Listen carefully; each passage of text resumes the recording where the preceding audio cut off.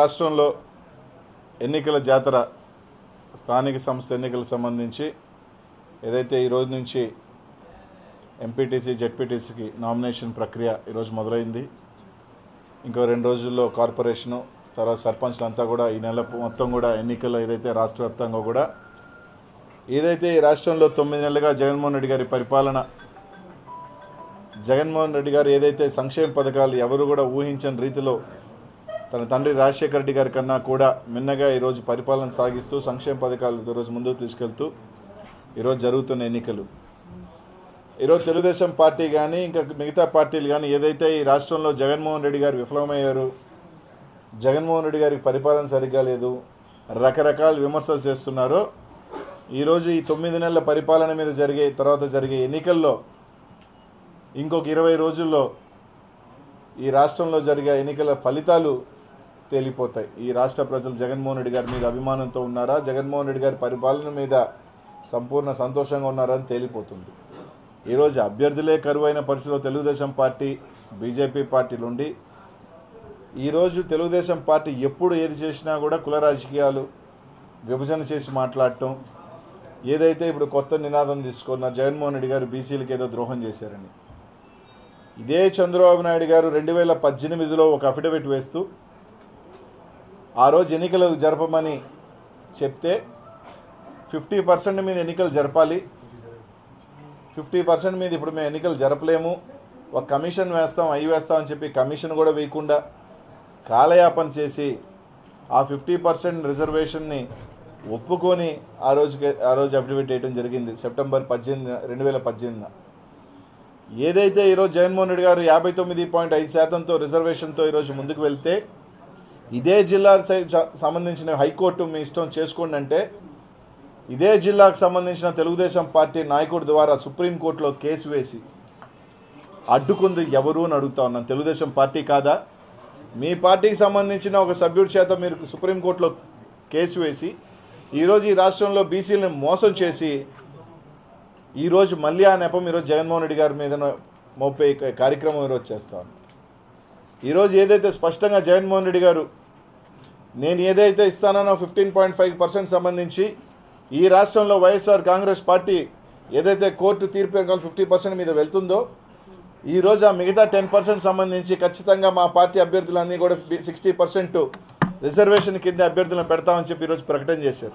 ఈరోజు ఛాలెంజ్ విసురుతున్నాం సవాల్ విసురుతున్నాం చంద్రబాబు నాయుడు గారికి. ఈరోజు అదే విధంగా మీరు చేసే ధైర్యం ఉందా అని అడుగుతా ఉన్నాను ఈరోజు ముఖ్యమంత్రి గారు మీరు అంటా ఉన్నారు కదా జగన్మోహన్ రెడ్డి గారు ఏదైతే ఈరోజు చేశారని ఈరోజు కోర్టు తీర్పిచ్చింది కాబట్టి ఈరోజు ఆ కోర్టు ఆ టెన్ పర్సెంట్ ఎక్స్ట్రా ఈరోజు జగన్మోహన్ రెడ్డి గారు రిజర్వేషన్స్ ఇస్తూ తమ పార్టీలో పరిధిలో ఈరోజు పోతా ఉన్నాడు. ఈరోజు తెలుగుదేశం పార్టీ దాన్ని చేసేదానికి సిద్ధంగా ఉందా అని అడుగుతాను. దానికి సిద్ధంగా లేదు. వాళ్ళు మాత్రం చేయరు. కోర్టులో కేసు వేస్తారు. కేసు వేసి ఏదైతే సుప్రీంకోర్టు తీర్పుకి దీనికి ఇది వేస్తారు దాన్ని తీసుకుని జగన్మోహన్ రెడ్డి గారి మీద వేస్తారు. ఈరోజు రాజ్యసభ్యులు అనౌన్స్ ఉన్నాయి ఏదైతే జగన్మోహన్ రెడ్డి గారు నామినేటెడ్ పదవులు ఏదైనా కూడా నేను అర్ధ శాతం ఇస్తానని చెప్పాడో ఈరోజు నామినేటెడ్ సంబంధించిన రాజ్యసభలో కూడా ఇద్దరు రాజ్యసభలు బీసీలకు ఇచ్చి తను ఫిఫ్టీ పర్సెంట్ ఏదైతే ఇచ్చాడో చెప్పాడో ఆ విధంగా ఈరోజు రాజ్యసభలో ఇచ్చాడు. ఈరోజు ప్రతి ఒక్కరికి కూడా శాసనసభ్యులకు కానీ అందరికీ కూడా ఆదేశాలు జారీ చేయడం జరిగింది. ఎంపీటీసీ కానీ జెడ్పీటీసీ కానీ సర్పంచుల్లో కానీ ఏదైతే సిక్స్టీ పర్సెంట్ రిజర్వేషన్కి పోతున్నాం మేము అని చెప్పడం కూడా జరిగింది. ఈరోజు ఈ రాష్ట్ర ప్రజలు బీసీ కానీ ఎస్సీ కానీ ఎస్టీలు కానీ మైనార్టీలు కానీ అందరూ కూడా అందరూ కూడా జగన్మోహన్ రెడ్డి గారి పాలన మీద సంతృప్తిగా ఉన్నారు. ఏదైతే ఈ రాష్ట్రంలో ఇల్లు కానీ ఇల్లు కానీ ఇరవై ఐదు లక్షల ఇల్లు కానీ ఏదైతే జగన్మోహన్ రెడ్డి గారు ఇవ్వబోతా ఉన్నారు తొందరలో వాటి మీద కూడా ఈరోజు అన్నీ కూడా ఈ రాష్ట్ర ప్రజలందరూ కూడా తీర్పు ఇవ్వబోతా ఉన్నారు. మీరు చేస్తున్న తెలుగుదేశం పార్టీకి ఒకటే చెప్తా ఉన్నాం. మీరు చెప్తున్నారు కదా జగన్మోహన్ రెడ్డి గారు మీరు రాజీనామా చేయండి. మీరు రండి రాజ్యం మేము చూసుకుంటామని వచ్చిన ఎన్నికలు. ఈ ఎన్నికలో చూద్దాం. ఎవరి బలం ఏంటో ఎవరి మీద అభిమానం ఉందో ప్రజలు ఎవరిని తీర్పిస్తారో కూడా ఇంకొక ఇరవై రోజులు తేలిపోతుంది. ఈ ఎన్నికలు మా ముఖ్యమంత్రి గారు స్పష్టమైన ఒక చట్టం కూడా చేయడం జరిగింది. ఎవరు కూడా డబ్బులు పంచేదానికి లేదు మద్యం పంచేదానికి లేదు. ఒకవేళ పంచిన ఎడల వాళ్ళ గెలిచినా కూడా వాళ్ళు డిస్క్వాలిఫై అవుతారు. ఎన్నికలు అయిపోయిన తర్వాత కూడా ఆధారాలు దొరికితే డిస్క్వాలిఫై చేయటమే కాకుండా మూడు సంవత్సరాల జైలు శిక్ష కూడా ఉంటుందని చెప్పి ఒక చట్టం చేసిన ప్రభుత్వం ఈ రాష్ట్రంలో ఏదైనా ఉంది అంటే అది ఈ ప్రభుత్వం ఈ దేశంలో ఏదైనా ఉందంటే అది జగన్మోహన్ రెడ్డి గారి ప్రభుత్వం అని చెప్పి తెలియజేస్తా ఉన్నాం. అట్లాంటి చట్టం తీసుకొని ఒక ట్రాన్స్పరెంట్ ఎన్నికలు జరగాలి. పోలీస్ యంత్రాంగానికి కూడా స్పష్టమైన ఆదేశాలు ఇచ్చారు. ఎవరు కూడా డబ్బులు కానీ మధ్య కానీ పంచకూడదని. అట్లాంటి ఎన్నికల్లో ఈరోజు పోతా ఉన్నాం. ముఖ్యంగా కర్నూలు జిల్లాకు సంబంధించి పూర్తిగా కూడా ఏదైతే పద్నాలుగు శాసనసభ్యులు రెండు పార్లమెంట్ స్థానాలు ఏదైతే కైవసం చేసుకున్నామో రెండు వేల పంతొమ్మిదిలో రేపు రాబోయే ఎన్నికల్లో కూడా పూర్తిగా కూడా అన్నీ కూడా కైవసం చేసుకుంటాం. తొంభై శాతం పైగా కూడా అన్ని స్థానాలు కూడా వైఎస్ఆర్ కాంగ్రెస్ పార్టీ కైవసం చేసుకుంటుందని చెప్పి తెలియజేసుకుంటూ ఏదైతే ఈరోజు ఈ జిల్లాలో సంబంధించి ఏదైతే జోనల్ ఇన్ఛార్జిగా కర్నూలు నెల్లూరు ప్రకా ప్రకాశానికి సంబంధించి ఇన్ఛార్జిగా వేమిరెడ్డి ప్రభాకరణ కానీ ఈరోజు మేము అందరం కూడా మంత్రులు శాసనసభ్యులు అందరం కూడా కూర్చొని ఈరోజు ఎంపీలు అందరూ కూడా కూర్చొని ఏ విధంగా ఎన్నికలకు వెళ్ళాలి? ఖచ్చితంగా ఒక స్పష్టమైన ఆదేశాలతో తొంభై శాతం పైగా ఈ కర్నూలు జిల్లాలో గెలిచే విధంగా కూడా ముందుకు వెళ్ళే విధంగా కూడా ఈరోజు అన్నీ కూడా చర్చించుకోవడం జరిగింది. అదే విధంగా ఎన్నికలకు వెళ్ళి రేపు MPTC ZPTC corporation municipalities panchayats కూడా తొంభై శాతం కూడా వైఎస్ఆర్ కాంగ్రెస్ పార్టీ కైవసం చేసుకుంటుందని చెప్పి తెలియజేస్తున్నాం. ఏదైతే కొంతమంది ఇక్కడేదో లుకలుకలు ఉన్నాయని రకరకాలు ఉన్నాయని చెప్పి మాట్లాడటం జరిగింది. ఒక కుటుంబంలోనే ఒక ఐదు ఇద్దరు ముగ్గురు పిల్లలు ఉంటేనే ఒక చిన్న చిన్న మనస్పర్ధలు అనేది ఉంటాయి. అట్లాంటిది రాజకీయాలలో ఒక పార్టీకి సంబంధించినప్పుడు కూడా ఒక చిన్న చిన్నవి ఉంటాయి కానీ అంత అంత మాత్రాన ఎవరు కూడా ఇక్కడ ఏదైనా అందరూ కూడా కలిసికట్టుగా ఒకే తాటి మీద అన్ని నియోజకవర్గాల్లో అందరం కలిసిమెలిసి వైఎస్ఆర్ కాంగ్రెస్ పార్టీ. ఎందుకంటే ఇక్కడ ఎవరూ కూడా అందరం కూడా మా అందరికీ కూడా మా ముఖ్యమంత్రి జగన్మోహన్ రెడ్డి గారి మాట అది ఒక శిలా శాసనం. ఆయన ఏది చెప్తే అది నడుచుకునే సైనికులు లాంటి వాళ్ళు మేమందరం కూడా అదే విధంగా నడుచుకుంటాం. అంతే తప్ప ఆయన మాటని దాటే వ్యక్తులు ఎవరు కూడా లేరు ఇక్కడ. అదేవిధంగా అన్ని నియోజకవర్గాలకు సంబంధించి కూడా చిన్న చిన్న పొరపాట్లు ఉన్నా చిన్న చిన్న పొరపాట్లు ఉన్నా కూడా మనస్పర్ధలు ఉన్నా కూడా అవన్నీ కూడా ఏదైతే ఒక కుటుంబంలో చిన్న చిన్న కలహాల్లాగే ఉంటాయి తప్ప అందరం కూడా ఇక్కడ అందరం కూడా అన్నతమ్ముళ్ళకి అందరం కూడా కలిసిమెలిసి ఎన్నికలు చేసుకొని కర్నూలు జిల్లాలో స్వీప్ చేయబోతున్నాం అని చెప్పి తెలియజేస్తున్నాం ఒక్క అభ్యర్థిని కూడా ఎవరెవరు ఇచ్చినప్పుడు కూడా పార్టీ ప్రకటిస్తుంది. ఎమ్మెల్యేలు కాదు మంత్రులు కాదు వీళ్ళెవరూ కాదు. గెలుపు ఎవరైతే అభ్యర్థి ఉంటాడో ఆ అభ్యర్థికి సంబంధించి పార్టీ కష్టపడిన అభ్యర్థికి సంబంధించి అన్నీ కూడా పార్టీ హైకమాండ్ ప్రకటిస్తుంది.